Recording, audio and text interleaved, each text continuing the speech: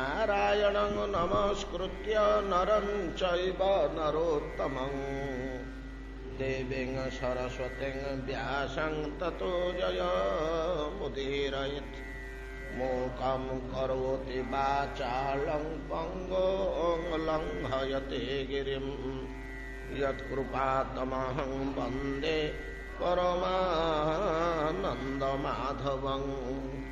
यत्कृपातमहं वन्दे परमा नन्दमाधवम्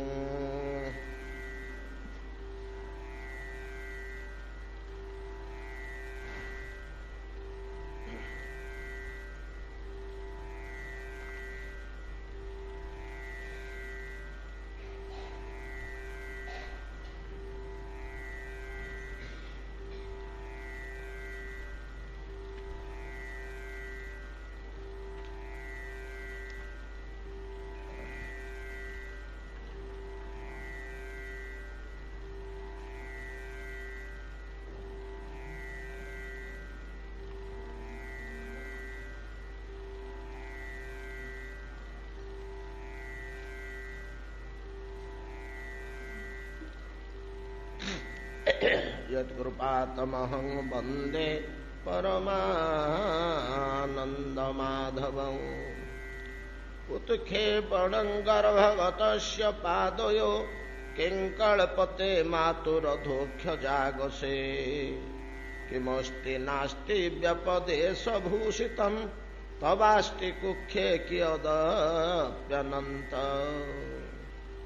नारायणस्त्वं न हि सर्वदेहिनाम् आत्मास्यधीशाखिलोकसाक्षी नारायणं गं नरभुजलायनात् तच्चापि सत्यं न तवैव माया ସୁତ ଗୋସ୍ୱାମୀ କହୁଛନ୍ତି ବ୍ରହ୍ମା ସ୍ୱସ୍ତବରେ ଭଗବାନଙ୍କୁ କ୍ଷମା ପ୍ରାର୍ଥନା କଲେ କହିଲେ ପ୍ରଭୁ ମୁଁ ଆପଣଙ୍କର ସନ୍ତାନ ଅବଶ୍ୟ। ଏ ଜଗତର ସମସ୍ତେ ଆପଣଙ୍କର ସନ୍ତାନ। କାରଣ ସମସ୍ତେ ଆପଣଙ୍କର ଗର୍ଭସ୍ଥ ଗର୍ଭଗତ। କେବଳ କଥା ଶାସ୍ତ୍ର କହୁନାହାନ୍ତି। ଆପଣ ନିଜେ ମଧ୍ୟ କହିଛନ୍ତି।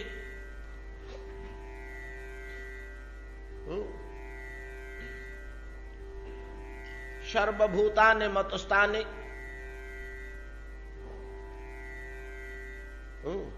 ସର୍ବାଣୀ ଇତ୍ୟୁପଧାରୟ ଅର୍ଜୁନ ଏତି ଉପଧାରୟ ଧାରଣା କର ବୁଝ ସର୍ବଭୂତାନି ମତସ୍ଥାନି ମତସ୍ଥ ମୋ ଭିତରେ ଅଛନ୍ତି କେବଳ ଆପଣ କହୁନାହାନ୍ତି ପ୍ରଭୁ ବହୁ ସ୍ଥାନରେ ଲୋକେ ଦେଖିଛନ୍ତି ସମସ୍ତେ ଆପଣଙ୍କର ଗର୍ଭ ଭିତରେ ଥିବା। ଆମେ କେତେ ଗୁଡ଼ିଏ ଘଟଣା ସ୍ମରଣ କଲେ। ମା ଯଶୋଦା ଆପଣଙ୍କ ଗର୍ଭ ଭିତରେ କୋଟି ବ୍ରହ୍ମାଣ୍ଡ ଦର୍ଶନ କରିଛନ୍ତି ମୃତ୍ୟୁଭକ୍ଷଣ କାଳରେ। ମା କୌଶଲ୍ୟା ଆପଣଙ୍କର ବାଳଲୀଳା ଭିତରେ ଆପଣଙ୍କ ଗର୍ଭ ଭିତରେ ଅନନ୍ତ ବିଶ୍ୱ ବ୍ରହ୍ମାଣ୍ଡ ଦର୍ଶନ କରିଛନ୍ତି। ଅର୍ଜୁନ କିଛି କିଛି ଦେଖିଛନ୍ତି। ଅନ୍ୟମାନେ କିଏ କେମିତି ମଧ୍ୟ ଦେଖିଛନ୍ତି। କାହାକୁ ଭୂଷଣ୍ଡି ଆପଣଙ୍କ ପେଟ ଭିତରେ ପଶି ଗୋଟି ଗୋଟିକିରି ଚେକ୍ କରିଛନ୍ତି ସବୁ। ଏ ଭିତରେ ଥିବା ଗୁଡାକ ଅସଲି ବ୍ରହ୍ମାଣ୍ଡ ନା ନାହିଁ ଯେତେବେଳେ ଭଗବାନ ରାମ ହସିଦେଲେ ତାଙ୍କ ପେଟ ଭିତରକୁ ପଶିଗଲେ ଗୋଟିଏ ରାମ ଜନ୍ମଠୁ ଆଉ ଗୋଟିଏ ରାମ ଜନ୍ମ ମାନେ ଗୋଟେ କଳ୍ପ ତା ଭିତରେ ରହିଲେ ସେ। କଳ୍ପାନ୍ତରେ ଫେରେ ରାମ ଜନ୍ମ ହବ ତ? ଗୋଟିଏ କଳ୍ପ ପର୍ଯ୍ୟନ୍ତ ଭଗବାନଙ୍କ ଗର୍ଭ ଭିତରେ ରହିଲେ। ରହିକିରି ବ୍ରହ୍ମାଣ୍ଡରୁ ବ୍ରହ୍ମାଣ୍ଡ ବ୍ରହ୍ମାଣ୍ଡରୁ ବ୍ରହ୍ମାଣ୍ଡ ବ୍ରହ୍ମାଣ୍ଡରୁ ବ୍ରହ୍ମାଣ୍ଡ ଉଡ଼ି ବୁଲିଲେ ତା ଭିତରେ। ପକ୍ଷୀ ଉଡ଼ିବା ଶକ୍ତି ତାଙ୍କର ଅଛି। କାକ ଉଡ଼ା ଫେରେ ବହୁ ଦୂର ଉଡ଼ନ୍ତି ବଡ଼ କ୍ଷିପ୍ର ଗତିରେ ଉଡ଼ନ୍ତି। ସବୁ ବ୍ରହ୍ମାଣ୍ଡ ଗୁଡାକ ଦେଖିଲେ ଏଗୁଡାକ ଅସଲି ବ୍ରହ୍ମାଣ୍ଡ ନା ନାହିଁ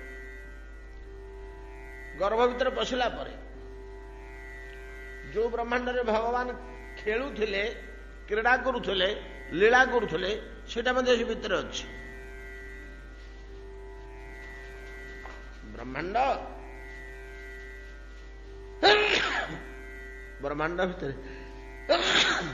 ଚତୁର୍ଦ୍ଦଶ ଲୋକ ଭିତରେ ମର୍ତ୍ୟ ଲୋକ ମର୍ତ୍ୟ ଲୋକର ଅନେକ ଧାମ ଭିତରେ ଅଯୋଧ୍ୟା ଧାମ ଅଯୋଧ୍ୟା ଧାମର ଅନନ୍ତପୁର ଭିତରେ ଦଶରଥଙ୍କ ପୁର ଦଶରଥଙ୍କ ପୁରକ କେତେ ଅଗଣା ଭିତରେ ଗୋଟିଏ ଅଗଣା। ସେ ଅଗଣାରେ ରାମ ଖେଳୁଥିଲେ ପାଚେରୀରେ ଭୂଷଣ୍ଡ ବସିଥିଲେ। ନାଇଁକି ସେ ଅଗଣାର ଯୋଉ ପ୍ରାଚୀର ସେ ପ୍ରାଚୀର ଉପରେ ଭୂଷଣ୍ଡ ବସିଥିଲେ। ଅଗଣାରେ ପ୍ରଭୁ ଶ୍ରୀରାମ ଖେଳୁଥିଲେ। ଯାହା ହଉ କଣ ବିଚିତ୍ର ଘଟଣା ଘଟିଲା ସେ ତାଙ୍କ ପେଟ ଭିତରକୁ ପଶିଗଲେ। ଯୋଉ ଅଗଣାରେ ଖେଳୁଥିଲେ ସେ ଅଗଣା ସେ ଅଯୋଧ୍ୟା ସେ ବ୍ରହ୍ମାଣ୍ଡ ସେ ମର୍ତ୍ୟ ଲୋକ ସବୁ ତା ଭିତରେ ଆସିଲେ ଏବଂ ରାମ ସେଠି ଅବତାର ହେଇଛନ୍ତି ପାଞ୍ଚ ବର୍ଷର ପିଲା ହେଇ ଖେଳୁଛନ୍ତି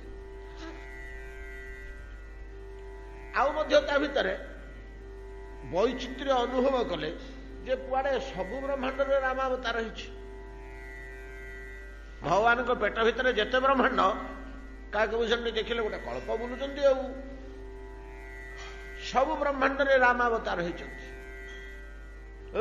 ହେଲେ ସବୁ ବ୍ରହ୍ମାଣ୍ଡରେ ଥିବା ଦଶରଥ କୌଶଲ୍ୟା ସୁମନ୍ତ୍ର ବଶିଷ୍ଠ ଇତ୍ୟାଦି ସବୁ ଯୋଉମାନେ ଅଛନ୍ତି ସେମାନେ ସବୁ ଅଲଗା ଅଲଗା ଚେହେରାର। କା ମୁହଁ ବଙ୍କା କା ମୁହଁ ତେଢା କା ମୁହଁ ସଳଖ କା ମୁହଁ ଲମ୍ବା କା ମୁହଁ ଗୋଲିଆ ଏମିତି ସବୁ ହେଇଛନ୍ତି। ରାମ ଲକ୍ଷ୍ମଣ ଭରତ ଶତ୍ରୁଘ୍ନ ସୀତା ସର୍ବତ୍ର ସମାନ। ସବୁଠି ସମାନ। ପରିକର ମାନେ ସବୁ ଅଲଗା ଅଲଗା ରଙ୍ଗ ଆକୃତି କିଏ ମୋଟା କିଏ ପତଳା। କୁ ବ୍ରହ୍ମାଣ୍ଡର ଦଶରଥ କଣ? କିନ୍ତୁ ସବୁ ବ୍ରହ୍ମାଣ୍ଡର ରାମ ଲକ୍ଷ୍ମଣ ଭରତ ଶତ୍ରୁଘ୍ନ ଓ ସୀତା ଏକାକୃତି। କିଛି ଆଉ ପ୍ରଭେଦ ନାହିଁ। ଏମିତି ଅନେକ ଗୁଡ଼ିଏ ବୈଚିତ୍ର୍ୟ ଦେଖିଲେ ତାଙ୍କ ମୁଣ୍ଡ ଗୋଳମାଳ ହେଲା। ପେଟ ଭିତରେ ଥାଇକରି ଚିନ୍ତା କଲେ ମୁଁ ସତ୍ୟ ଦେଖୁଛି ନା ସ୍ୱପ୍ନ ଦେଖୁଛି? ଟିକେ ବସିକରି ଚିନ୍ତା କଲେ ମୁଁ ତ ସେ ଓଡ଼ିଆରେ ଆମର ଥିଲି ଶିବଙ୍କ ସାଥିରେ ରାମ ଜନ୍ମ ଦେଖିବାକୁ ଯାଇଥିଲି ରହୁ ରହୁ ରହିଗଲି ଦି ତିନି ବର୍ଷ। ଅଳପ ଦିନେ ଅଧେ ମୁଁ ତ ତିନି ଦି ତିନି ବର୍ଷ ଖଣ୍ଡେ ଚାରି ବର୍ଷ ଖଣ୍ଡେ ମୁଁ ରହିଲି। ରାମଙ୍କର ଲୀଳା ସବୁ ବାଳୀଳା ଦେଖିଲି ଶିବସେନା ପଳେଇଲେ ତାଙ୍କ ଘରକୁ ଗୃହସ୍ଥ ଲୋକ ସିଏ କଣ କରିବେ? କେତେ ଦିନ ରହିବେ ବିଦେଶରେ? ସିଏ ପଳେଇଲେ ଆଉ ମୁଁ ତ ରହିକିରି ସବୁ ଦେଖା ଚାହାଁ କରୁଥିଲି। ଏମିତି ଏମିତି ତ ପ୍ରଭୁ ହସିଦେଲେ ମୁଁ ତାଙ୍କ ପେଟରେ ବସିଗଲି। ଆଉ ଏଗୁଡାକ ସବୁ ଦେଖୁଛି ଭିତରେ ଏମିତି ହୋଇକି ବ୍ୟାକୁଳ ହେଇକିରି ସେଠୁ ଉଠିକିରି ପଳେଇଲେ ଯୋଉ ଶିଖରରେ ଗିରି ଶିଖର ଉପରେ ବସିକିରି ଚିନ୍ତା କରୁଥିଲେ ସେ ଶିଖର ଉଡ଼ିକିରି ଫଟକିରି ପଳେଇଲେ ପଳେଇଲେ ସବୁ ବ୍ରହ୍ମାଣ୍ଡ ତ ଦେଖିଲେ ସବୁଥିରେ ତ ଅଛନ୍ତି ଆଉ ସବୁ ମନ ବ୍ୟସ୍ତରେ ଉପରେ ଉପରେ ଉଡ଼ି ପଳାଉଛନ୍ତି ଆଉ ତଳକୁ ଖସୁନାହାନ୍ତି ଗୋଟେ ଜାଗାରେ ତଳକୁ ଚାହିଁଲା ବେଳକୁ ଗୋଟେ ଜାଗା ଚିହ୍ନା ଚିହ୍ନା ଦୁସିଲା ଯଦି ଏଇଟା କୋଉଠି ଦେଖିଲା ଭଳିଆ ଲାଗୁଛି ଜାଗାଟା କୋଉଠି ଦେଖେ? ଆରେ ଏଇଟା ତ ଆମ ଆଶ୍ରମଟା। ମୋ ଆଶ୍ରମଟା। ଏଇଟା ତ ମୋ ଆଶ୍ରମଟା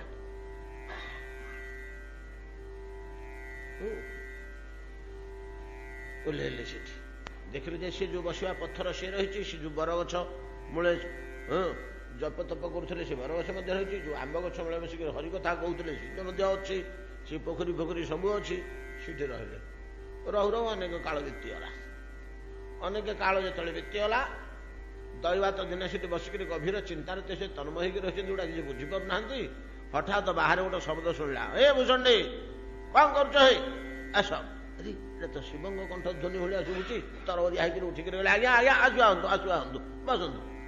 ଆଉ ବସିବା କଣ ଆଉ ବେଳ ଅଛି? କାଲି ପରା ରାମ ଜନ୍ମ ହବ। ହେ ରାମ ଜନ୍ମ? ମୁଁ ତ ପେଟ ଭିତରେ ଅଛି। ସମୟ ହେଇଗଲାଣି ଚାଲ ଯିବା ପଳେଇବା ଶୀଘ୍ର। ବାହାର ଆଉ କଥାବାସା ନ କରି କାକୁ ତରଗରିଆ ହେଇ ବାହାରିଲେ କଣ ରାମ ଜନ୍ମ ହବ?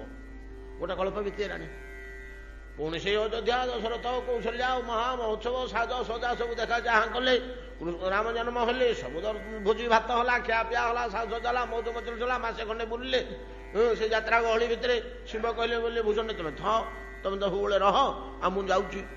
ନା ଯିବ ଏ ବର୍ଷ? ନା ଅଛି ତ ଦେଖିବା କଣ ହଉଛି। ଶିବ ତାଙ୍କର ପଳେଇଲେ କୈଳାସକୁ ଭୂଷଣ ଫେର ତିନି ବର୍ଷ ବିତିଗଲା। ଏମିତି ଦିନେ ରାମଙ୍କ ସହ ଖେଳୁ ଖେଳୁ ସେ ଟିକେ ଫେକିରେ ହସିଦେଲେ ପେଟ ଭିତରୁ ବାହାରି ପଡ଼ିଲେ। ଗୋଟା କିଛି ବୁଝି ହଉନି। ସବୁତକ କଥା ଚିନ୍ତା କରିକି ବୁଝନ୍ତ ପଶିବା ଆଉ ବାହାରିବା।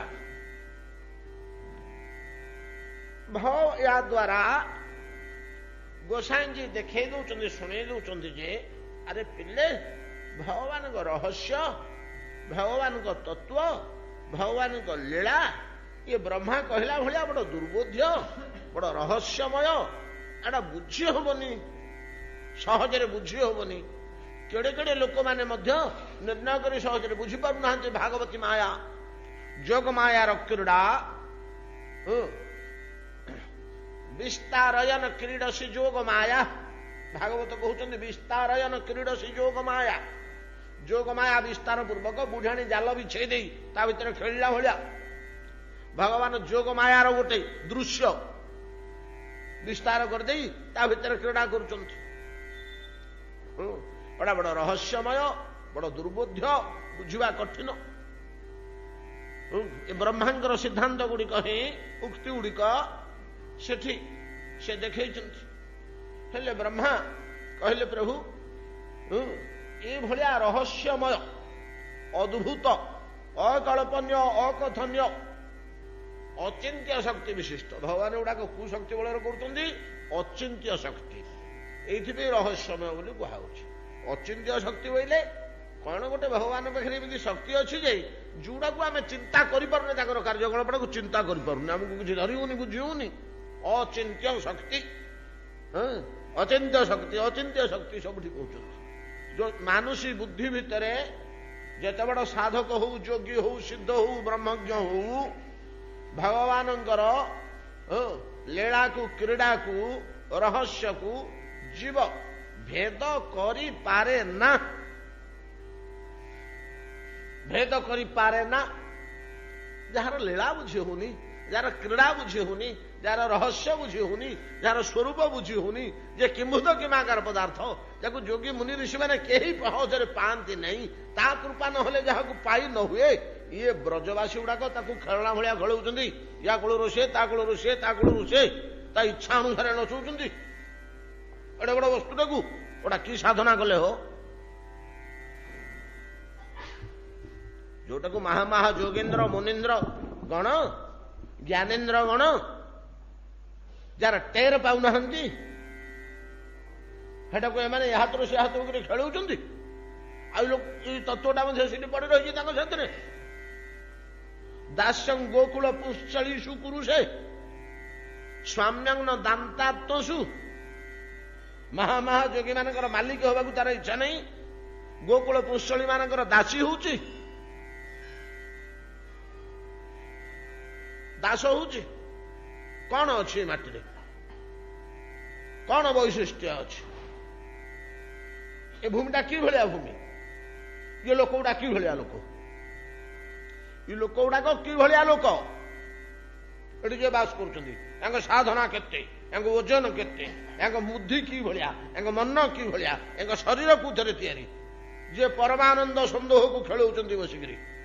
ଚିଦାନନ୍ଦ ସନ୍ଦୋହ। ଗୋସାଇଁଜୀ ରାମଚରିତ ମାନସରେ ଦେଇଛନ୍ତି ଶବ୍ଦ ଟିକେ ଚିଦାନନ୍ଦ ସନ୍ଦୋହ। ଭକ୍ତି ଗ୍ରନ୍ଥ ମାନେ କହୁଛନ୍ତି ପରମାନନ୍ଦ ସନ୍ଦୋହ। ସନ୍ଦୋହ କହିଲେ ଫୁଲ ମଣ୍ଡା ପୁଷ୍ପ ସନ୍ଦୋହ। ସନ୍ଦୋହ ଶବ୍ଦର ଅର୍ଥ ଯୋଉ ଗୁଡ଼ିଏ ଫୁଲ ଆମେ ଏକାଠି କରିକି ଗୋଟେ ଗୁମ୍ଫା କରିଥାଉ। ଗଭା। ଏମିତି ଜଗନ୍ନାଥଙ୍କ ନାକ ଚଣା ହୋଳିଛି ଏ ଗୋଟେ ଗଭା ସବୁ ଲାଗିନି ତା ଦେହରେ। ମେଞ୍ଚା ମେଞ୍ଚା। କେତେ ଗୁଡେ ଫୁଲ ଗୁନ୍ଥା ହେଇକିରି ଏକାଠି ହେଇଛି ନା ଆଉ? ଏଟା କହନ୍ତି ସନ୍ଦୋହ ଚିଦାନନ୍ଦ ସନ୍ଦୋହ ପରମାନନ୍ଦ ସନ୍ଦୋହ ସେଇଟାକୁ ଧରିକିରି ମାନେ ଖେଳଉଛନ୍ତି ନଚଉଛନ୍ତି ଗେଲ କରୁଛନ୍ତି ମଜା କରୁଛନ୍ତି ମଜଲୁସ କରୁଛନ୍ତି ସେ ଆଗ ବୋଲ କରା ହେଇ ଦୌଡୁଛି ଆ ବୋଲିକିରି ଡାକିଲେ ଦୌଡି ଯାଉଛି ପାଖକୁ। ହାତ ବଢେଇ ଦେଇକିରି ଟିକେ ଗେଲ କରି ହସିକିରି ଡାକିଦେଲେ ଡେଇଁ ପଡୁଛି ତାକୁ ଖୋଜି ଖୋଜି ପାଉନାହାନ୍ତି ଆଜି ପର୍ଯ୍ୟନ୍ତ ଯାହାର ରହସ୍ୟ ବେଦ ପାଇପାରିନି ଯୋଗେନ୍ଦ୍ର ମୁନୀନ୍ଦ୍ର ଗଣ ପାଇପାରିନାହାନ୍ତି ଏ ଲୋକ ଗୁଡାକର କି ଭାଗ୍ୟ ନୁହ ଏଗୁଡା କେଡେ କେଡେ ବ୍ୟକ୍ତି ଏଗୁଡାକ କେଡେ କେଡେ ବ୍ୟକ୍ତି ଏ ଯୋଉ ଭୂମିରେ ଅଛନ୍ତି ସେ ଭୂମି କି ଅଦୃଶ୍ୟ ଭୂମି ଯୋଉଟାକୁ ଛାଡିକିରି ଗୋବିନ୍ଦ କୁଆଡେ ଯାଉନାହାନ୍ତି ନାଇଁ କି ଶ୍ରେୟ କାନ୍ତା ଆଲୋଚନା କରିଥିଲେ ଏଠି ଆମେ ଯାହାର ମଧ୍ୟ କହେ ବ୍ରଜେର ମହିମାର ସୀମା ଆର ଏକ ଶ୍ଲୋକ ଶୁଣ ବ୍ରଜେର ମହିମା ବୋଲି ଚୈତନ୍ୟ ଚରିତାମୃତ ଆଶ୍ଚର୍ଯ୍ୟ ହେଇ କହୁଛନ୍ତି କୃଷ୍ଣଦାସ କବିରାଜ ଗୋସ୍ୱାମୀ ଶହେ ବର୍ଷ ବୟସରେ ଯିଏ ଶାସ୍ତ୍ର ରଚନା କରୁଛନ୍ତି କହୁଛନ୍ତି ମୋର ହାତ ଥରୁଛି ମୁଁ ବସିଲାଠୁ ଉଠି ପାରୁନି ଆଣ୍ଠୁ ଉପରେ ମୁହଁ ଧୋଇକିରି ବସିଛି ମୋ ଆଖିକି କିଛି ଦେଖାଯାଉନି ଗୋବିନ୍ଦ କୃପା କରିକିରି ଲେଖେଇ ଦଉଛନ୍ତି କଣ? ଏଇଟା ପରିଶେଷରେ ଲେଖିଛନ୍ତି ସ୍ଥବିର ଏ ଅବସ୍ଥାରେ ଗୋବିନ୍ଦ କଣ କରି ଲେଖେଇ ଦଉଛନ୍ତି ମୋର ଲେଖିବା ଅବସ୍ଥା ଆଉ ନାହିଁ। ବିଦ୍ୱାନ ଲୋକ ହେଇଥାଇ ପାରନ୍ତି। ବୟସାଧିକ ଯୋଗୁ ଆଖିକି ଦୁଶୁନି ହାତ କମ୍ପୁଛି ମୁଁ ଲେଖିବା ଅବସ୍ଥାରେ ନାହିଁ। କିନ୍ତୁ ଗୋଟେ ଗୋଟେ ପଦ ଥୁଆ ହେଇଛି ଯେ ପ୍ରତ୍ୟେକଟି ପଦ ଗୋଟେ ଅଦ୍ଭୁତ ଚମତ୍କାର ମଣିଷର ଲେଖା ଭଳି ଆସିଲା କାହିଁ ଜଣା ପଡୁନି ପ୍ରକୃତରେ କଣ ଆଉ ଗୋବିନ୍ଦ ଲେଖଉଥିଲେ କି କଣ କେଜାଣି ସେ କହୁଛନ୍ତି ଗୋବିନ୍ଦ କଣ କଣ ଲେଖେଇ ଦଉଛନ୍ତି ମୋ ହାତରେ ସେ ଲେଖୁଛନ୍ତି ବୋଧେ ଆର ଏକ ଶ୍ଲୋକ ଶୁଣ ବ୍ରଜେର ମହିମା ଯାର ମଧ୍ୟ କହେ ବ୍ରଜେର ମହିମାର ସୀମା ଶ୍ରେୟ କାନ୍ତା କାନ୍ତ ପରମ ପୁରୁଷ କଳ୍ପତରବୋ ଦୁର୍ମାହା ଭୂମିଶ୍ଚିନ୍ତା ମଣିଗଣମୟୀ ତୋୟମୃତ କଥା ଗାନ ନାଟ୍ୟମ୍ ଗମନମପି ବଂଶୀ ପ୍ରିୟ ସଖୀ ଚିଦାନନ୍ଦ ଜ୍ୟୋତି ପରମପି ତଦା ସ୍ୱାଦ୍ୟମପି ଚ ଏଥିରେ ଫେରେ କଣ? ଏ ସବୁ ଗୁଡାକ ଶ୍ରେୟ ପରମ ଶ୍ରେୟ। ପୁରୁଷ ପରମ ପୁରୁଷ। କଳ୍ପତରବ ଅନେକ କଳ୍ପତରୁ ଅଛି। ତା ଭିତରେ ଯୋଉଗୁଡାକ ହାଇ କ୍ୱାଲିଟିର ଶ୍ରେଷ୍ଠ ଶ୍ରେଷ୍ଠ କଳ୍ପତରୁ। ଅଣା ବ୍ରଜର ପ୍ରତ୍ୟେକଟି ଘାସ ଲତା ପ୍ରତ୍ୟେକଟି ଗଛ। ଯୋଉ ଗଛ ମୂଳେ ଛିଡା ହେଲେ ସେଗୁଡାକ ସାଧାରଣ ବୃକ୍ଷ ନୁହଁ କଳ୍ପ ବୃକ୍ଷ। ଚିନ୍ତାମଣି ଗଣମୟୀ ଭୂମି। ଅମୃତମୟ ଜଳ। ଏବଂ ଆଲୋକ କେରୋସିନ ଟିଭିର ଆଲୁଅ ନୁହଁ। ଆଉ ସେଠି ଆଲୋକଟା କଣ ନା ଚିଦାନନ୍ଦ ଜ୍ୟୋତି। ଚିଦାନନ୍ଦରେ ଉଦ୍ଭାସିତ ସେ ଜାଗାଟା। ସେ ଆଲୋକ ଚିଦାନନ୍ଦାଲୋକ। ଚିଦାନନ୍ଦ ଜ୍ୟୋତି। ଏତାଦୃଶ ଭୂମିରେ ଯୋଉମାନେ ରହିଛନ୍ତି ବାସ କରିଛନ୍ତି ନାଇଁ କି?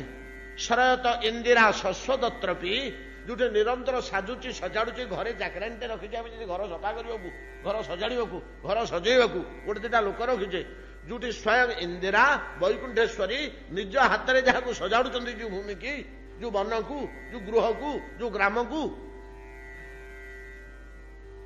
ଏତାଦୃଶ ଯୋଉ ବ୍ରଜ ଓ ସେ ବ୍ରଜବାସୀ ଗଣ ଓହୋ ଭାଗ୍ୟମ ଓହୋ ଭାଗ୍ୟମ। ନନ୍ଦ ଗୋପ ବ୍ରଜୌକ ସାମ ନନ୍ଦ ଗୋପର ବ୍ରଜରେ ଗୋଠରେ ଚାରିପଟେ କୁଡ଼ିଆ ବାନ୍ଧିକରି ବାସ କରୁଥିବା ଗୋପ ଗୋପୀ ଗଣ ଅହୋ ଭାଗ୍ୟ। ନନ୍ଦ ଗୋପ ବ୍ରଜୌକ ସାମ କାହିଁକି ଜନମିତ୍ର ପରମାନନ୍ଦ ପୂର୍ଣ୍ଣ ବ୍ରହ୍ମ ସନାତନ ପୂର୍ଣ୍ଣ ବ୍ରହ୍ମ ସନାତନ ବୋଲି ବେଦ ଯାହାକୁ ନିର୍ଣ୍ଣୟ କରୁଛନ୍ତି ମୁଁ ଦେଖୁଛି ସେଇ ତତ୍ଵ ତାଙ୍କ ଘରେ ପିଲା ତାଙ୍କ ଘରେ ସାଙ୍ଗ ତାଙ୍କ ଘରେ ପୁଅ ତାଙ୍କ ଘରେ ଖେଳଣା ତାଙ୍କ ଦାଣ୍ଡରେ ଦୌଡୁଛି ତାଙ୍କ ଘରେ ନାଚୁଛି ତାଙ୍କ ଘରେ ଶୋଇଛି କାଖ କଳ ହଉଛି ଭୋକ ହେଲେ ଖାଇବାକୁ ମାଗୁଛି ମାଡ଼ ଖାଉଛି ଗାଳି ଖାଉଛି। ଯାହାର ଯେମିତି ଇଚ୍ଛା ହେଲା ତାକୁ ନଚଉଛନ୍ତି ଗାଁଟା ଆଗ। ଘର କାମ ସରିଗଲେ ଦୌଡ଼ି ପଳେଇ ଆସିଲେ ତା ପାଖକୁ ତା ସାଥିରେ ଲାଗିଛନ୍ତି। କିଲୋ କାହିଁକି ଦୌଡୁଚଲ ସମସ୍ତେ ମୋ ଘରକୁ? ନାଇଁ ପିଲାଟା ବଡ କୌତୁକିଆ ହେଇଛି ମା ତମର। ଯଶୋଦା ମା ଏ ପିଲାଟା ବଡ କୌତୁକିଆ ହେଇଯିବ ଏଟାକୁ ପାଖରେ ବସିକିରି କେମିତି କଥା କହୁଛି କେମିତି ଚାଲୁଛି କେମିତି ଠାଣି କେମିତି ଚାହାଣି କେମିତି ବ୍ୟଙ୍ଗ ବିଦ୍ରୁପ କରୁଛି। ଆଉ ଛାଡିକିରି ଘରେ ରହି ହଉନି। ଜନ୍ମିତ୍ର ପରମାନନ୍ଦ ପୂର୍ଣ୍ଣ ବ୍ରହ୍ମ ସନାତନ ଯୋଗେନ୍ଦ୍ର ମନୀନ୍ଦ୍ର ଜ୍ଞାନେନ୍ଦ୍ର ଗଣ ଯାହାର ତେର ପାଉନାହାନ୍ତି ଯାହାର ସୂଚନା ପାଉନାହାନ୍ତି ଯାହାର ସନ୍ଧାନ ପାଉନାହାନ୍ତି ନ ଜମାପ ଯୋଗିନା କ୍ଷମଂ ପ୍ରବେଶ ତପସେରି ମନ ମାତନ୍ନ ଧାବନ ତାକୁ ଗୋଟେଇକିରି ମା ଧରୁଛି।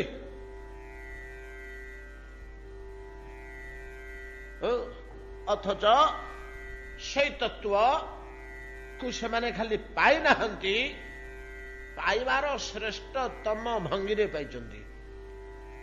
ପାଇବାର ଶ୍ରେଷ୍ଠତମ ଭଙ୍ଗୀରେ ଆମ ସାହି ଭିତରେ କି ଆମ ଗାଁ ଭିତରେ ଆମେ ଦେଢ ହଜାର ଲୋକ ଅଛୁ। ଆମେ କଣ ସମସ୍ତେ ସମସ୍ତଙ୍କୁ ପାଇନୁ କି? ଏ ପାଇବାଟା ଅଲଗା।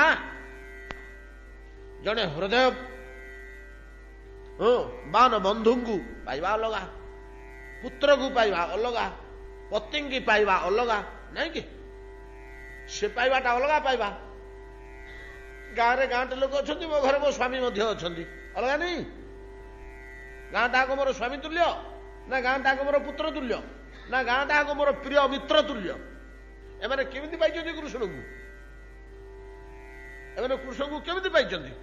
ବ୍ରହ୍ମା କହୁଛନ୍ତି ଏମାନଙ୍କ ପ୍ରାପ୍ତିଟା କି ଭଳିଆ ଏମାନେ କି ଭଳିଆ ଭଗବାନଙ୍କୁ ପାଇଛନ୍ତି ହଁ।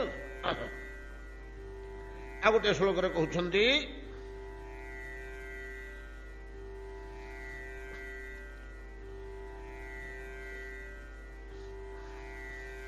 ଅହୋତି ଧନ୍ୟା ବ୍ରଜ ଗୋରମନ୍ୟ ସ୍ତନ୍ୟାମୃତଂ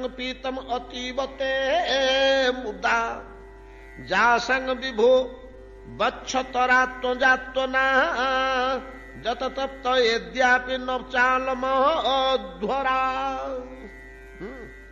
अहोति धन्या, ब्रज गौरमण्य हम्म। ये ब्रज भितर बास करुवा ये गाई गुड़िक ए माँ गुड़िक गोपी गुड़िक ओहो, अति धन्या। कहीं ନା ଆଜିକି ବର୍ଷେ ହେଲା ମୁଁ ତାଙ୍କର ବାଛୁରୀ ବାଳକ ନେଇ ଲୁଚେଇକିରି ଥୋଇଲାଠୁ ବର୍ତ୍ତମାନ କିଏ ବାଛୁରୀ ବାଳକ ହେଇକିରି ତାଙ୍କ ସ୍ତନ୍ୟପାନ କରୁଛି ହୋ? ସେଇ ପୂର୍ଣ୍ଣ ବ୍ରହ୍ମ ସନାତନ ତ ନା ଆଉ କିଏ ଦିନେ ଅଧେ ନୁହଁ ଗୋଟାଏ ବର୍ଷ ବିତିଗଲାଣି। ମୁଁ ଯୋଉଦିନ ନେଇକି ଏମାନଙ୍କର ବାଛୁରୀ ବାଳକ ଗୁଡିକୁ ଘରେ ଥୋଇଦେଲି ମୋର କମଣ୍ଡଳ ଭିତରେ ଥୋଇଦେଲି ସେଇଦିନଠୁ ସେମାନେ ତ ବାଛୁରୀ ବାଳକର ଅଭାବ ବୋଧ କରିନାହାନ୍ତି। ତାଙ୍କର ସ୍ତନ୍ୟପାନ କିଏ କରୁଛି? ଅହୋତି ଧନ୍ୟା ବ୍ରଜ ଗୋ ରମନ୍ୟା ବ୍ରଜ ରମଣୀଗଣ ବ୍ରଜ ଗୋ ଗଣ ଅହୋତି ଧନ୍ୟା। ବ୍ରଜ ଗୋ ରମନ୍ୟ ସ୍ତନ୍ୟାମୃତମ ସେମାନଙ୍କର ସ୍ତନ ସ୍ତନ ନୁହେଁ କି ସେଥିରୁ ବହୁଥିବା ଦୁଗ୍ଧ ଦୁଗ୍ଧ ନୁହେଁ। ଆଉ ନା ପରମ ବ୍ରହ୍ମ ପୁରୁଷର ସ୍ୱାଦ୍ୟ ବସ୍ତୁ ଦୁଗ୍ଧ ଇଏ ଦୁଗ୍ଧ ନୁହେଁ ଆମ ମା ସ୍ତନରୁ ଆମେ ଯୋଉ ଦୁଧ ପିଇଥିଲେ ଦୁଗ୍ଧ ପାନ କରିଥିଲେ ସେ ଦୁଗ୍ଧ ଗୁଡାକ ନୁହଁ। ଏଗୁଡାକ ପାଇଁ କାହିଁକି ପରମ ବ୍ରହ୍ମ ପୁରୁଷ ଆସିବ? ଆମେ ଜୀବ ଗୁଡାକ ଏଥିପାଇଁ ମରୁଛେ ମାର ସ୍ତନ୍ୟ ପାନ କଲେ ବଞ୍ଚୁଛେ କିନ୍ତୁ ସେଇଟା ତ ସାଧାରଣ ଜୀବ ପିଉନି। କିଏ ପିଉଛି? ପରମ ବ୍ରହ୍ମ ପୁରୁଷ ପିଉଛି। ପରମ ବ୍ରହ୍ମ ପୁରୁଷ ସେ ବସ୍ତୁ ସେ ମା ମାନଙ୍କର ସ୍ତନରୁ ଦୁଗ୍ଧ ପାନ କରୁଛି। ହେଲେ ସେ ପରମ ବ୍ରହ୍ମ ପୁରୁଷର ପେୟ ପଦାର୍ଥ ଝରୁଛି ନା ସେଥିରୁ ଆଉ? ଜୀବର ପେୟ ପଦାର୍ଥ ଝରୁଛି କି? ବୁଝିପାରିଲେ ତ? ସେଠୁ ଜୀବର ପେୟ ପଦାର୍ଥ ଝରୁନି ଆଉ କଣ ଝରୁଛି ନା ପରମ ବ୍ରହ୍ମ ପୁରୁଷ। ଫେରେ କେମିତି ଝରୁଛି ପରମ ବ୍ରହ୍ମ ପୁରୁଷ ତା ପାଇଁ ବ୍ୟାକୁଳ କାନ୍ଦୁଛି ଅଳି କରୁଛି ଧୂଳିରେ କଟି ଯାଉଛି ମୁଁ ପିଇବି ବୋଲି। ଏ ବର୍ଷକ ଭିତରେ ହେଇନଥିବ ଏଇଭଳିଆ ଏ ବର୍ଷକ ଭିତରେ ହେଇନଥିବ କି ଯେତେବେଳେ ଦିନାକ ନଈ କୂଳରେ ଚରିଚରି ଖରାରେ ବାଲିରେ ଶୁଖିଲା ଘାସ କୁଟା ଚୋବେଇ ଚୋବେଇ ବାଛୁରଟି ଗଲା। ତା ମାକୁ ଯେତେବେଳେ ଦେଖିଦେଲା ସେତିକି ଦୂରରୁ ମା ଚାହା ଦେଇକିରି ମା କରିଦେଲା। ଇଏ ଦୌଡି ଯାଇକିରି ବ୍ୟାକୁଳ ହେଇକିରି ତାର ପେଟରେ ପିଠିରେ ଇଆଡେ ସିଆଡେ ମୁହଁ ମାରି ବିକଳ ହେଇକିରି ସ୍ତନ୍ୟପାନ କରିନଥିବ ବାଛୁରଟା? ହେଲେ ତାର ସ୍ତନ୍ୟପାନ କରିବୁ କିଏ ବ୍ୟାକୁଳ ହଉଛି? ବାଛୁରୀ ନା ପରମ ବ୍ରହ୍ମ?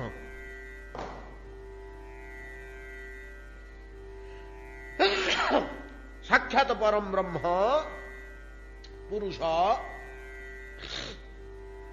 ନାଇଁ କି? ପରମାନନ୍ଦ ସନ୍ଦୋହ ବେଦ ବେଦ୍ୟ ସର୍ବଜୀବାତ୍ମ ନିଜାମୀ ଅଖିଳ ବ୍ରହ୍ମାଣ୍ଡ ନାଥ। ଯିଏ ସେ ବ୍ୟାକୁଳ ହଉଛି କେମିତି ପିଇ ପକେଇବି? ବ୍ୟାକୁଳ ହୋଇ ପାନ କରୁଛି। ଏତେ ଦିନ ଭିତରେ ଏଇ ଯୋଉ ଶିଶୁ ଗୁଡିକ କୋଉ ମାର କଣ କାମ ଅଛି? ପିଲାଟାକୁ ବସେଇ ଦେଇ ଅନ୍ୟ କାମରେ ଲାଗିଗଲା ଡେରି ହେଲା ଆସିବାକୁ ତା ଛୁଆ କାନ୍ଦିକିରି ଗଡି ଯାଇକିରି ନାଇଁ ମତେ ଏବେ ସ୍ତନ୍ୟପାନ ଦେ। କାନ୍ଦି ନଥିବ ସେଟା କିଏ କାନ୍ଦିଲା? ଯିବ? ତା ପୁଅ ପରମ ବ୍ରହ୍ମ ପୁରୁଷ ନାଇଁକି ଗୋଟିଏ ବର୍ଷ ପର୍ଯ୍ୟନ୍ତ। ସେମାନଙ୍କର ସ୍ତନ୍ୟ ପାନ କରୁଛନ୍ତି। କିଏ ସେ ସ୍ତନ୍ୟାମୃତ କିଏ ପାନ କରୁଛି? ନା ସାକ୍ଷାତ ପରମ ବ୍ରହ୍ମ। ଅହୋତି ଧନ୍ୟା ବ୍ରଜ ଗୋରମନ୍ୟ। ସ୍ତନ୍ୟାମୃତଂ ପୀତମ ଅତୀବତେ ମୁଦା। ଅତି ଆନନ୍ଦରେ ବ୍ୟାକୁଳ ପ୍ରାଣରେ କଣ୍ଠାକୃତ ହେଇ ନାଇଁ ମୁଁ ଏବେ ପିଇବିଲ ବୋଲି ଅଳି ଅର୍ଦଳି କରି ଜୋର ଜବରଦସ୍ତ କରି ମା ପଛରେ ଗୋଟେଇ କାନ୍ଦି ସ୍ତନ୍ୟ ପାନ କରୁଛି ବ୍ୟାକୁଳ ହଉଛି ଯାହାର ସ୍ତନ୍ୟ ପାନ କରିବାକୁ ବ୍ୟାକୁଳ ହଉଛି ସ୍ତନ୍ୟ ପାନ କରିବାକୁ ତା ସାଙ୍ଗ ବିଭୋ ବଚ୍ଛ ତରା ତ୍ୱଜାତ୍ୱନା ଯତୃପୁତ ଏଦ୍ୟାପି ନ ଚାଳମ ଧ୍ୱରା ଓହୋ ମୁଁ ଯୋଉଟାକୁ ବଡ ଜିନିଷ ବୋଲି ଜଗତଟାକୁ ଡରେଇକି ରଖିଛି। କଣଟା? ବେଦବୁଦ୍ଧିଟା? ଆଉ ବ୍ରହ୍ମା କଣ ଦେଖେଇକିରି ଆମକୁ ଡରେଇଛନ୍ତି କି? କାବୁ କରିଛନ୍ତି? ଟିକେ କଥା ପଢିଲେ ଫେରେ ତୁ ଏମିତି ସେମିତି କଲୁ? କାଢିବି ବେଦବୁଦ୍ଧି କଣ ଲେଖା ହେଇଛି ସେଥିରେ? ଚଣ୍ଡାଳ ନରକକୁ ଯିବୁ ଅନ୍ୟାୟ କଲୁ। ଯେମିତି କୋର୍ଟ କଚେରୀ ଆମକୁ ଆଇନ ପୋଥି ଦେଖଉଛି କାହିଁକି? କୋର୍ଟ କଚେରୀ କଣ ଦେଖାଉଛି ଆମକୁ? ହେ ତୋ ବାଡି ପଟେ ଅଳିଆ ଜମା କରୁଛୁ? ତୋ ଦ୍ୱାର ମୁହଁରେ କାଦୁଅ କରୁଛୁ? କଣ ଆଇନ ବହି କଣ ଲେଖା ହେଇଛି? ଅମୁକ ଦଫାରେ ପଡିଲୁ ଦେ ତିନିଶହ ଜୋରିମାନା ନାଇଁ ଯେମିତି ଆଇନ ପୋଥି ଆମକୁ କୋର୍ଟ କଚେରୀ ଦେଖେଇକିରି ଭୟ କରି ରଖିଛେ ଆମେ କିଛି କରିପାରୁନୁ ଆମକୁ ଡରିକିରି ପୁଲିସ ବାଧ୍ୟ ନେବ କୋର୍ଟରେ ଠିଆ କରିଦବ। ଆଇନ ପୋଥିରେ ଆମେ ଡରୁଛୁ ନା ଆଉ? ସେ ଧର୍ମୀୟ ଆଇନ କଣ? ଧର୍ମକୁ ଡରିକିରି ଆମେ ଲୁଗା ପିନ୍ଧୁଛୁ ଭାତ ଖାଉଛୁ ଚାଲୁଛୁ ବୁଲୁଛୁ ଶୁଣୁ। ନହେଲେ ମଣିଷ ଯଦି କଡା ଆଇନଟା ନଥାନ୍ତା ଏ ସଂସାରକୁ ସେ ଧ୍ୱସ୍ତ କରି ପକାନ୍ତାନି ଏରା ଧାରାରେ ପଡି ଆସିଛି ବୋଲି ସିନା ଆମେ ଧରିପାରୁନୁ ଅଭ୍ୟାସରେ ପଡିଯାଇଛି ବୋଲି କେତେ କଣ କରି ପକାନ୍ତା ଯିଏ ଟିକେ ଆଇନକୁ ଲୁଚିକିରି ଗୋପନରେ କରୁଛି କେତେ କୁକର୍ମ କରି ପକଉଛି କେତେ କୁକର୍ମ କରି ପକଉଛି ଯୋଉ ବେଦ ପୋଥି ଟିକେ ଦେଖେଇ ବ୍ରହ୍ମା ଜଗତଟାକୁ ନିୟନ୍ତ୍ରଣ କରି ରଖିଛନ୍ତି ସେ ବେଦ ପୋଥିଟିରେ ବଡ ଜିନିଷ କଣ ଅଛି? ନା ଯଜ୍ଞ ମାଳା କାଲି ଯେମିତି ଆପଣମାନେ ଘରେ ସବୁ ଦୀପ ମାଳା ଲଗେଇଥିଲେ ଆଲୋକ ମାଳା ଲଗେଇଥିଲେ ସେମିତି ଭିତରେ ଅଛି ଯଜ୍ଞ ମାଳା। ତାଠୁ ବଡ ତାଠୁ ବଡ ତାଠୁ ବଡ ତାଠୁ ବଡ ତାଠୁ ବଡ ଯଜ୍ଞ। ଏ ଯଜ୍ଞ କଣ? କୋଟି କୋଟି ଯଜ୍ଞ ଯୋଉ ବେଦରେ ଅଛି। ନା ଈଶ୍ୱର ତୋଷଣ କର୍ମ ନାଇଁ କି? ଆଉ ସେଥିରେ କଣ ଅଛି କି? ଯାଗ ଯଜ୍ଞ ଗୁଡାକରେ ଆଉ କଣ କରାହଉଛି? ହରିତୋଷଣ କର୍ମ। ହହୋ କିଏ ଯଦି ଗୋଟେ କିଛି ସକାମ ଭାବରେ କଲା ମୋର ଧନ ବଢୁ କି ମୁଁ ବନ୍ଦିରୁ ମୁକ୍ତି ପାଏ କି ମୋର ଆଉ କଣ ହଉ ରୋଗରୁ ମୁକ୍ତ ହଉ କି ମୁଁ ସ୍ୱର୍ଗକୁ ଯାଏ କି ମୁଁ ଇନ୍ଦ୍ର ହୁଏ ଏ ସଂକଳ୍ପ ଟା ସକାମ ଯଜ୍ଞ କ୍ଷେତ୍ରକୁ ଛାଡ଼ିଦେଲେ ବାକି ସବୁ ବଡ ବଡ ମୁନି ଋଷି ମାନେ ଯୋଉ ରାଜା ମାନେ ଯୋଉ ହଜାର ହଜାର ଯଜ୍ଞ କରୁଥିଲେ ସବୁ ନିଷ୍କାମ ଗୁଡାକ ନା ଆଉ କଣ? ସବୁ ରାଜା ମାନେ ବଡ ବଡ ଯଜ୍ଞ କରୁଥିଲେ। ସବୁଗୁଡାକରେ ତ ଆଉ ସଂକଳ୍ପ ନଥିଲା। ବିରାଟ ତ ଦ୍ରୋଣକୁ ବଦ୍ଧ କରିପାରିଲା ଭଳିଆ ପୁଅଟିଏ ପାଇଁ ଯଜ୍ଞ କଲେ। ସେଟା ସକାମ। ଇନ୍ଦ୍ରଜିତ ରାମଙ୍କୁ ଜୟ କରିବା ପାଇଁ ରଥଟେ ଚାହୁଁଥିଲା ଯଜ୍ଞରୁ। ସେଟା ସକାମ। ଦଶରଥ ପୁତ୍ରଟିଏ ପାଇଁକିରି ଯଜ୍ଞଟେ କରିଥିଲେ ସେଟା ସକାମ। କିନ୍ତୁ ଯୁଧିଷ୍ଠିର ଯଜ୍ଞ କଣ ସକାମ? ରାଜସୂୟ। ପୃଥୁଙ୍କ ଯଜ୍ଞ କଣ ସକାମ? ତାଙ୍କ ତ କିଛି ସଂକଳ୍ପ ନଥିଲା। ଆଉ କଣ ପାଇଁ କରୁଥିଲେ? କୋଟି କୋଟି ଯଜ୍ଞ ତାଠୁ ବଡ ତାଠୁ ବଡ ହରି ତୋଷଣ ନିମନ୍ତେ ପ୍ରଯୁଜ୍ୟ। ଅଭିପ୍ରେତ। ପ୍ରଯୁଜ୍ୟ ତ ହବନି ଅଭିପ୍ରେତ। କି ଉଦ୍ଦେଶ୍ୟରେ ଯାଗ ଯଜ୍ଞ କଡ଼ା ହଉଥିଲା ହୋ? ହରିତୋଷଣ ପାଇଁ। ସଂଖ୍ୟାରେ କୋଟି କୋଟି ତାଠୁ ବଡ ତାଠୁ ବଡ ତାଠୁ ବଡ। ଅଶ୍ୱମେଧ ବାଜପେୟ ମହାସୁଦର୍ଶନ ମହାବୈଷ୍ଣବ ଯଜ୍ଞ ବଡ ବଡ ଯଜ୍ଞ ସବୁ। ଗୋମେଧ ନରମେଧ ପର୍ଯ୍ୟନ୍ତ ତ ଅଛି ଓ ଏସବୁ ମହାନ ମହାନ ଯଜ୍ଞ କୋଟି କୋଟି ବିଧିବିଧାନ ନୀତି ନିୟମ ଓ ଦ୍ରବ୍ୟ ସମ୍ଭାର ହଜାରେ ପ୍ରକାରର ଜିନିଷ ଦରକାର ସମୟ ଦରକାର ସ୍ଥାନ ଦରକାର ମନ୍ତ୍ର ଦରକାର ମହାକଟକଣା ଭିତରେ ହବ। ସହଜ ସମ୍ଭବ ନୁହଁ। ସେଗୁଡାକ କୋଟି କୋଟି ସଂଖ୍ୟାରେ ଲାଗିକିରି ଯାହାକୁ ସନ୍ତୁଷ୍ଟ କରିପାରି ନାହିଁ ଏତିକି ଯଜ୍ଞ ବେଦର ଲାଗି ଭଗବାନଙ୍କୁ ସନ୍ତୁଷ୍ଟ କଲେ କି ଭଗବାନ କୋଉଠି ଆସି କହିଲେ କି ଓ ମୁଁ ହେଇଗଲା ରେ ପେଟ ବୁଲିଲା ଆଉ ଯଜ୍ଞ କରନି ହେଇଗଲା ଆମର। ତୃପ୍ତି ହେଇଗଲା। କୋଉଠି କହିଛନ୍ତି ଯେତେ ଜାଗ ଯଜ୍ଞ କଲେ ମଧ୍ୟ ତୃପ୍ତି ସାଧନ କରାଯାଇ ପାରୁନି। ୟାଙ୍କ ସ୍ତନ୍ୟରେ କଣ ଅଛି ଯେ ଟିକେ ପିଇ ଦେଇକିରି ଓ, ନିଶ୍ୱାସଟେ ମାରି ଯାହା ଖେଳିବାକୁ ପଳେଇଲା କୃଷ୍ଣ। ଦାଣ୍ଡକୁ। ମା କୋଳରୁ ଉଠିକିରି ଖେଳିବ ପେଟ ପୁରିଗଲା ମୁଁ ପଳେଇଲା। ମା ଚାହୁଁଛ ଯୋଉ ହୋ ପେଟ ଟିକେ ପୁରିଗଲୁ ଯାଇ ସନ୍ତୋଷ ହେଲା ରେ କିଏ ଗଲା? ତାର ପୁତ୍ର ହେଇକିରି କିଏ ପହଞ୍ଚୁଛି? ସ୍ତନ୍ୟ ଦୁଗ୍ଧରେ ତୃପ୍ତ ଏମାନଙ୍କର କିନ୍ତୁ ମହା ମହା ବ୍ରହ୍ମର୍ଷି ମାନଙ୍କର ଦେବର୍ଷି ରାଜର୍ଷି ମାନଙ୍କର ମହାନ ଆଡମ୍ବରା ତୁଙ୍ଗା ଯଜ୍ଞରେ ତୃପ୍ତ ନୁହେଁ। ଅଧ୍ୱରା ନ ତୃପ୍ତ କଣ କହୁଛନ୍ତି? ଯା ସାଙ୍ଗ ବିଭୋ ବଚ୍ଛ ତରା ତଞ୍ଜା ତନା ଯତ ତୃପ୍ତ ଏ ଏମାନଙ୍କର ଓ, ସ୍ତନ୍ୟରେ ତୃପ୍ତ ହେଇଯାଉଛନ୍ତି ସେ ଅଦ୍ୟାପି ନ ଚା ଓ ଅଧ୍ୱରା ଅଧ୍ୱର ଯଜ୍ଞ ଅଧ୍ୱର କହିଲେ ଯଜ୍ଞ ନୁହେଁ ଯଜ୍ଞରେ ଯେ ତୃପ୍ତି ହଉନି ମହାନ ମହାନ ଯଜ୍ଞ ମାନଙ୍କରେ ଏମାନଙ୍କ ସ୍ତନ୍ୟ ଦୁଗ୍ଧରେ ସେ ତୃପ୍ତ ହେଇଯାଇଛି ଏମାନେ କି ଅଦ୍ଭୁତ ଜୀବ ଏମାନଙ୍କ ପାଖରେ କି ବିଶେଷତ୍ୱ ଅଛି ଏମାନେ ଅସାଧାରଣ ଜୀବ। ଏ ସମସ୍ତ ଚିନ୍ତା କରି ବ୍ରହ୍ମା କହିଲେ ଇଏ ବ୍ରଜ ଯେପରି ଏ ବ୍ରଜବାସୀ ମାନେ ସେପରି। କିଏ କାହାକୁ ଉଣା ନୁହଁ ଯୋଉ ସ୍ଥାନ ଛାଡି ଗୋବିନ୍ଦ କୁଆଡେ ପାଦେ ଯାଉନି ଯୋଉଠି ତାର ପରମ ତୃପ୍ତି ମହା ମହା ଯଜ୍ଞରେ ତୃପ୍ତି ନେଇ ଏମାନଙ୍କ ସ୍ତନ୍ୟ ଦୁଗ୍ଧରେ ତୃପ୍ତି। ଏମାନଙ୍କ ଖେଳ କୌତୁକ ମୌଜ ମଜଲିସି ନ ପାଇଲେ ମୁହୂର୍ତ୍ତେ ସେ ରହିପାରୁନି। କି ବନ୍ଧୁ ଇଏ ସେମାନଙ୍କର? କଣ ସମ୍ବନ୍ଧ ଏମାନେ ତା ପାଖରେ ରଖିଛନ୍ତି? ହୃଦୟଟାକୁ କେମିତି ତା ପାଖରେ ଅର୍ପଣ କରୁଛନ୍ତି? ସେ ନେଇଯାଇଛି ଆଗ ହୃଦୟଟାକୁ। ଏମାନେ ମନ ହୃଦୟ ପ୍ରାଣ ଦେହ କେମିତି ସମର୍ପଣ କରିଛନ୍ତି ଯେ ସବୁ ତାକୁ ସେ ନେଇଛି? ପରମ ବ୍ରହ୍ମ ପୁରୁଷ ନେଇଛି ଏଗୁଡା ଅସାଧାରଣ ବ୍ୟକ୍ତି ଗୁଡାକ। ଏଗୁଡାକ ଅସାଧାରଣ ବ୍ୟକ୍ତି ଗୁଡାକ। ଆମେ ଗୁଡାକ ୟାଙ୍କ ଆଗରେ କେଡେ ତୁଚ୍ଛ ହୋ। ଜୀବନ ସାରା ଛତିଶ ହଜାର କଳ୍ପ ଧରି ସ୍ତବ ସ୍ତୁତି କରି କରି କରି ଯାହାର ଦର୍ଶନ ଟିକେ ପାଉନୁ ଯାହାର ଦର୍ଶନ ଟିକେ ଆମେ ପାଉନୁ।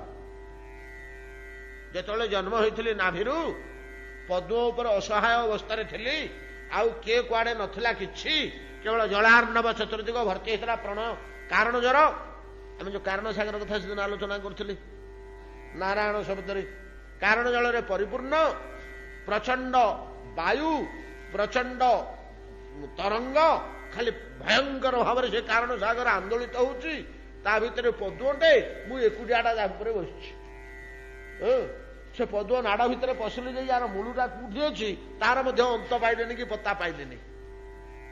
ଏଇଭଳିଆ ଅବସ୍ଥାରେ ଯେତେବେଳେ ଥିଲି ଆଉ ସମ୍ଭାଳି ପାରିଲିନି ଶେଷକୁ ଖାଲି କାନ୍ଦିଲି ସେ ଉପରେ। ସେ ଉପରେ ଖାଲି କାନ୍ଦିଲି। ସେ ପଦରେ ସେତିକି ବେଳେ ମତେ କୃପା କରି ଦର୍ଶନ ଦେଇଥିଲେ। ଚତୁଶ୍ଲୋକୀ ଭାଗବତ ବତେଇ ଦେଇଥିଲେ। ଚତୁଶ୍ଲୋକୀ ଭାଗବତ ଏଇଟା ମୋର ଜନ୍ମ ହେଲା ଦିନର କଥା ନା ଆଉ କଣ ପାଦ କଳ୍ପର କଥା ଆଉ? ବ୍ରହ୍ମାଙ୍କର ଏଟା ପ୍ରଥମ ଦିବସ ଆଉ। ପ୍ରଥମ କଳ୍ପ ଆଉ ତା ନାଁ ହଉଛି ପାଦ କଳ୍ପ।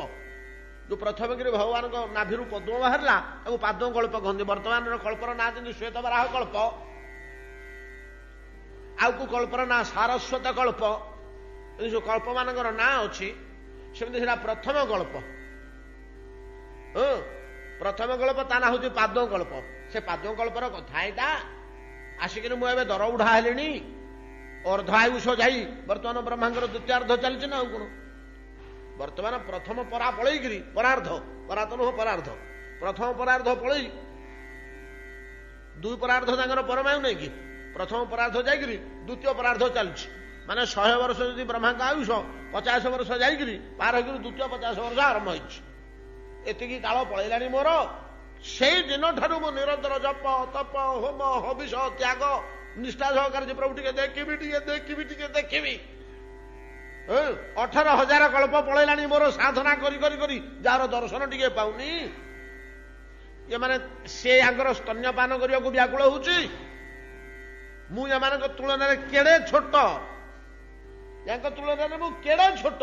କେଡେ ନିମ୍ନ? କେଡେ ନିଚ? କିଏ କହୁଛନ୍ତି? ବ୍ରହ୍ମା। ହଁ? କେଡେ କ୍ଷୁଦ୍ର ମୁଁ ହେଇଯାଉଛି ଏମାନଙ୍କ ତୁଳନାରେ? ମୋର ଭାଗ୍ୟଟା ୟାଙ୍କ ଭାଗ୍ୟ ତୁଳନାରେ ଅହୋ ଭାଗ୍ୟମ ଅହୋ ଭାଗ୍ୟ ବୋଲି କହିଲେ ତ?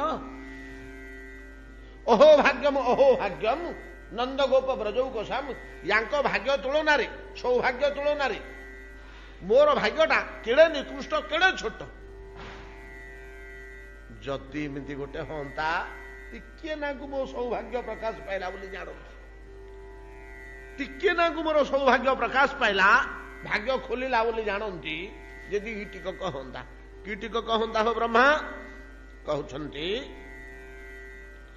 ତଦ୍ଭୂରି ଭାଗ୍ୟମିହ ଜନ୍ମ କିମପ୍ୟଟବ୍ୟାଂ जद्गोकुलेऽपि कतमाङ्घ्रिरजोऽभिषेकम् जज्जीवितं तु निखिलं भगवान् मुकुन्दः। त्वद्यापि जद भूरी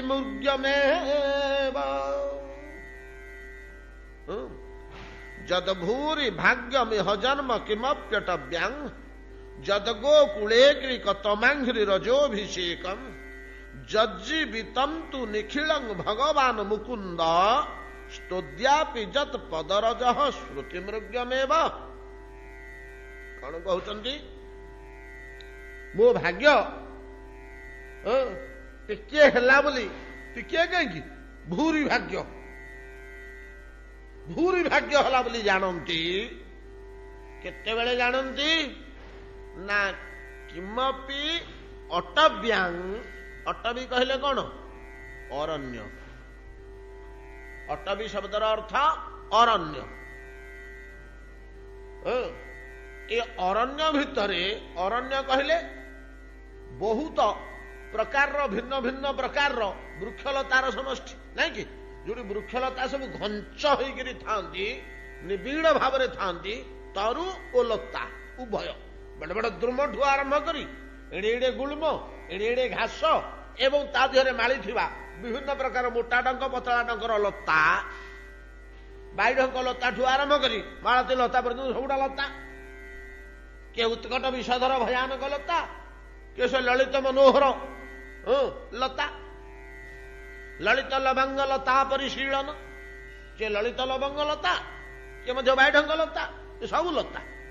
ଏ ତରୁ ଦ୍ରୁମ ଗୁଳ୍ମ ତୃଣ ଏ ସବୁ ମିଶିକିରି ଓ ଲତା ମିଶିକିରି ସବୁ ଅଟବି ଏ ଅଟବି ଭିତରେ କିମ୍ ଅପି କିମ୍ ଅପି କଣ ହେଲେ ଗୋଟେ କଣ ହେଲେ ଗୋଟେ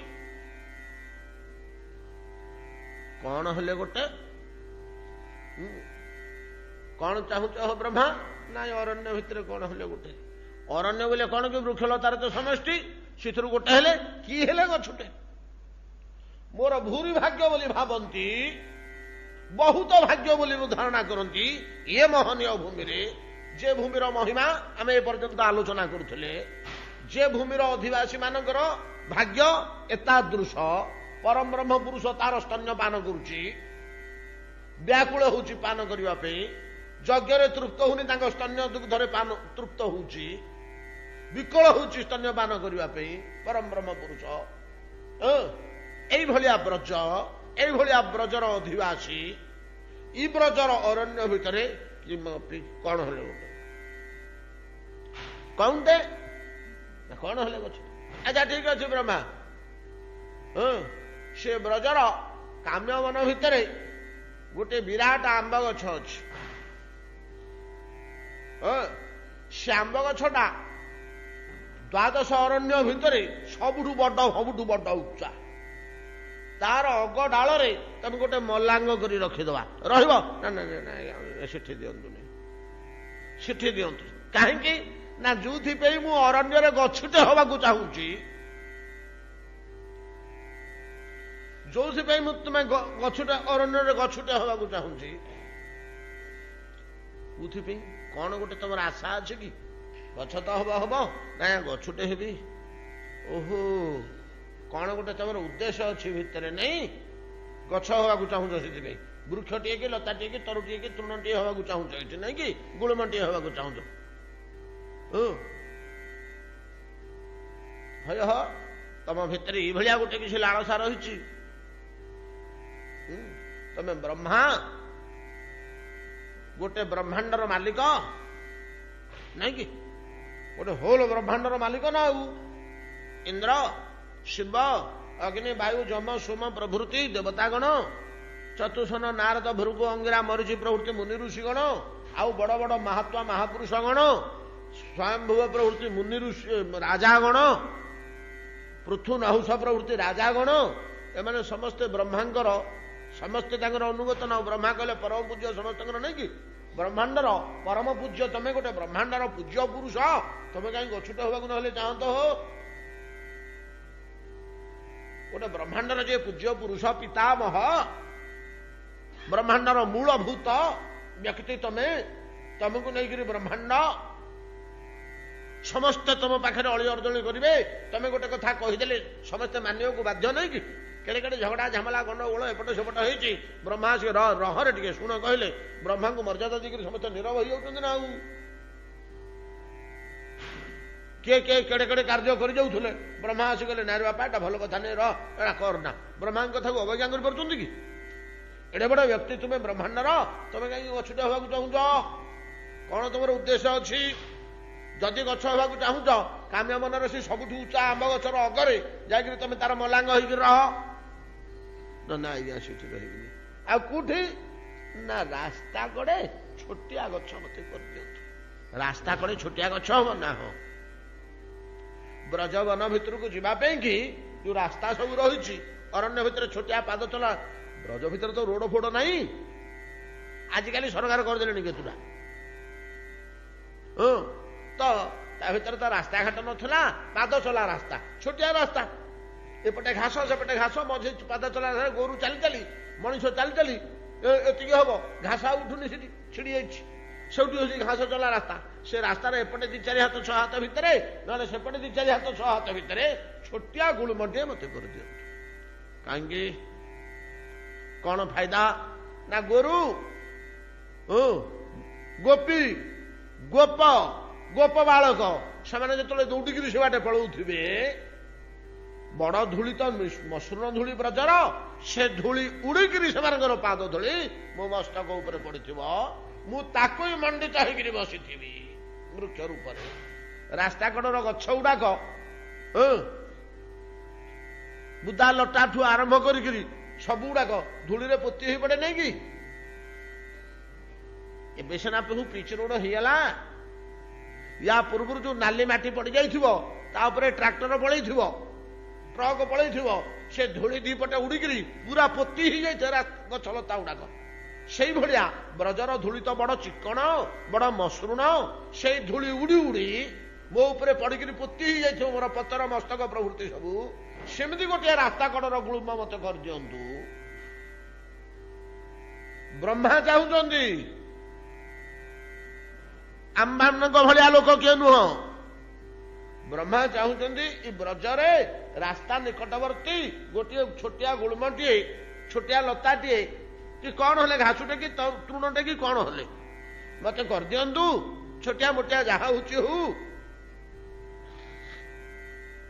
ଏଟା ବ୍ରହ୍ମା ଚାହିଁଥିଲେ ବୋଲି ପରବର୍ତ୍ତୀ କାଳରେ ଯେତେ ବଡ ବଡ ମୁନି ଋଷି ଏମାନେ ସମସ୍ତେ ଚାହାନ୍ତି ଯେ ବ୍ରଜରେ ମତେ ଗୋଟେ ତରୁ କରିଦିଅ। ତରୁ ଗୁଳୁମ ଲତାଟେ କରିଦିଅ। ଗୁଳ୍ମଟେ କି ଲତାଟେ କି ତରୁଟେ ମତେ କରିଦିଅ। ସମସ୍ତେ ବ୍ରହ୍ମା କହିଦେଇଛନ୍ତି ତ ସେଇ ବାଟରେ ସମସ୍ତେ ପଳଉଛନ୍ତି ଆଉ ବ୍ରହ୍ମା କହିଛନ୍ତି ଆଉ। ଆମକୁ ସେଇ ଜିନିଷଟା ହେଲେ ଭଲ। ଏଣୁ ବିଶ୍ୱାସ କରାଯାଏ ବୃନ୍ଦାରଣ୍ୟ ଭିତରେ ଯେତେ ବୃକ୍ଷଲତା ଅଛି ସମସ୍ତେ ଗୋଟିଏ ଗୋଟିଏ ମହାପୁରୁଷ। ଏମାନେ ତପସ୍ୟା କରିକିରି ସେଠି ବୃକ୍ଷଟି ହେଇଛନ୍ତି। ହଁ ଆମେ ଯେମିତି ଗଛ ଗୁଡାକ ରଠ ରାଟ ଭାଙ୍ଗି ପକଉଛେ ହାଣି ପକଉଛେ କାଟି ପକଉଛେ ଫୋପାଡ଼ି ପକଉଛେ ଆପଣ ବ୍ରଜରେ ସେଟା ପାଇବେନି ଆଜ୍ଞା। ପ୍ରଥମ ଥର ଯେତେବେଳେ ମୁଁ ଯାଇଥିଲି ପ୍ରଥମ ଥର ପ୍ରାୟ କୋଡ଼ିଏ ତିରିଶ ବର୍ଷ ତଳେ ମୋର ସେତେବେଳକୁ ନିମ ଦାନ୍ତ କାଠି ଘଷିବା ଅଭ୍ୟାସ ଥିଲା।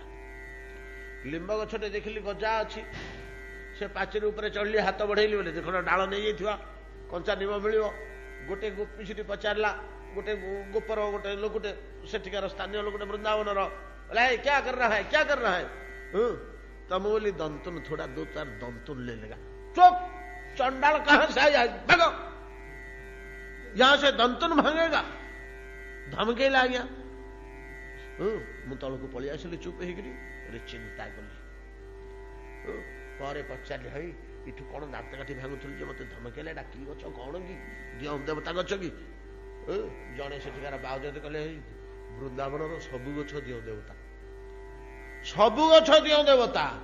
ସେ ଲୋକମାନେ ସହଜରେ ଗଛରୁ ଡାଳ ଖଣ୍ଡେ ଭାଙ୍ଗି ଦେବେ ନାହିଁ। ଆଚ୍ଛା ଆପଣମାନଙ୍କ ଭିତରେ ଯୋଉମାନେ ସେବା କୁଞ୍ଜ ନିଧୁବନ ଯାଇଛନ୍ତି ପ୍ରତ୍ୟେକଟି ଗଛ ଗୋଟିଏ ଗଛ ଗୋଟିଏ ମହା- ମହାପୁରୁଷ ଭଳିଆ ଦୃଶ୍ୟ ଅନୁଭବ ହଉନି? କିଏ ଦେଖିଛନ୍ତି ନା ନାଇଁ ନିଧୁବନ ଆଉ ସେବା କୁଞ୍ଜ ବୃନ୍ଦାବନ ସହର ଭିତରେ ଥିବା ନିଧୁବନ ଆଉ ସେବାକୁଞ୍ଜ ନାମକ ଯୋଉ ଦୁଇଟି ଅରଣ୍ୟ ଅଛି ଛୋଟିଆ ଯେ ଚାରିପଟେ ବାଛରୁ କି ସେ ବି ନଷ୍ଟ ହେଇଯାଉଛି।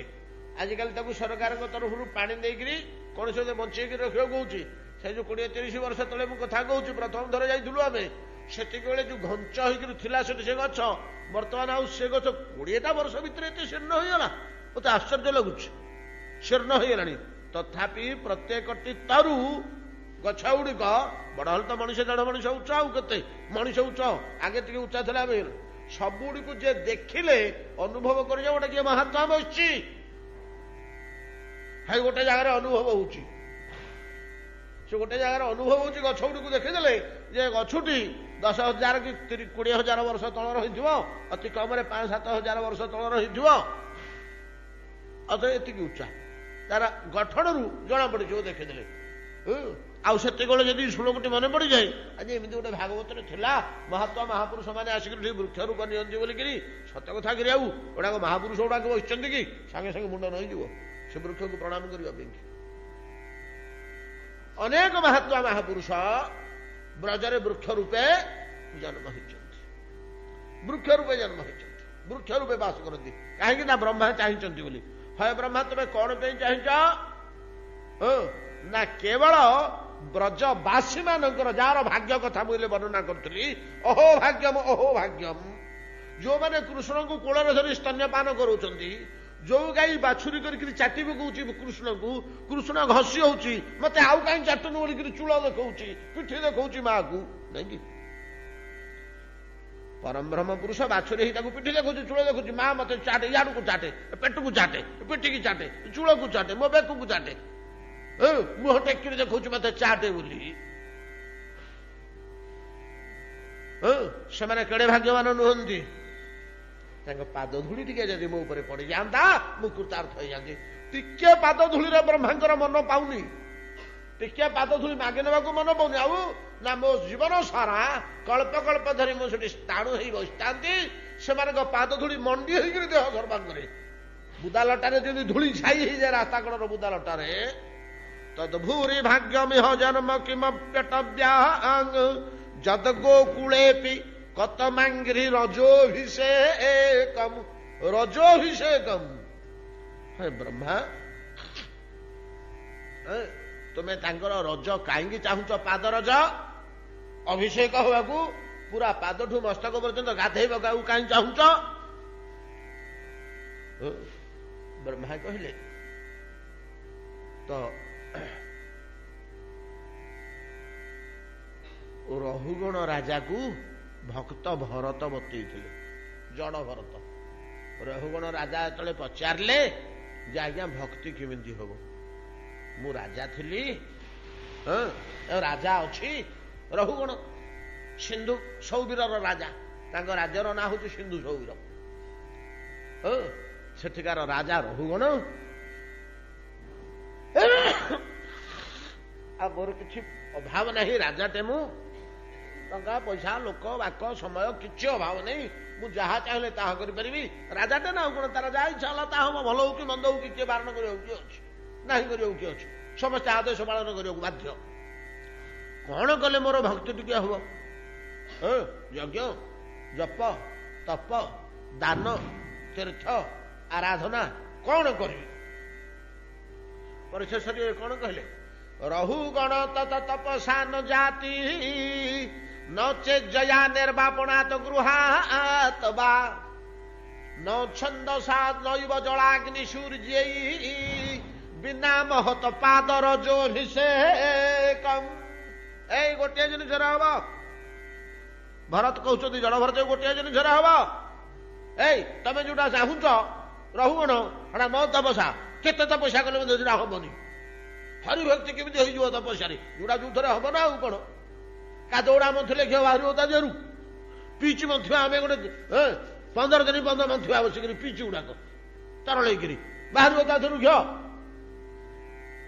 ଲହୁଣୀ। ଦଧି ମନ୍ଥନ କଲେ ସିନା ଲବଣୀ ବାହାରିବ। ଆଉ ଭକ୍ତିଟା ତପସ୍ୟାରୁ କେମିତି ହବ? ତା ଭିତରେ ଥିଲେ ତ ବାହାରିବ। ତତ ତପସା ନ ଯାତି ତପସ୍ୟାରେ ହବନି। রহুগণ তথা তপসা ন জাতি। নচেজ্জা যাগযজ্ঞ হবনি। ইজ্জা যাগযজ্ঞ নির্বাপনা তো গৃহাত বা। ন ছন্দসা বেদাধ্যয়ন। নৈব জলাগ্নি সূর্যই। বিন্না। বিন্না। বিন্না মানে ইয়া ছড়া আউ কুটারে হলে হবনি অন্য ভিতরে বিন্না মহত পাদর যোভিষেকম ମହାତ୍ମା ମହାପୁରୁଷଙ୍କର ପାଦର ଯଦି ଯଦି ମୁଣ୍ଡରେ ବୋଳି ହବ ତେବେ ହରିଭକ୍ତି ହବ।